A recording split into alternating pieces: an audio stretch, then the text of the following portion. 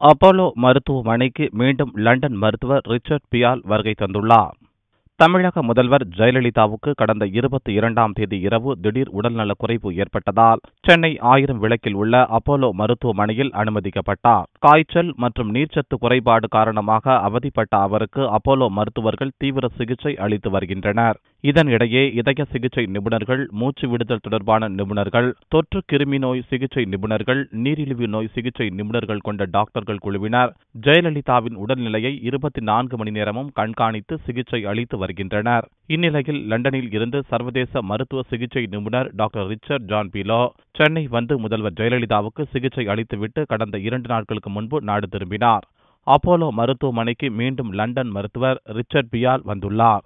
முதல்வர் ஜெயலலிதாவின் உடல்நிலை குறித்து மூன்றாவது முறையாக லண்டன் மருத்துவர் பரிசோதனை செய்ய உள்ளார்.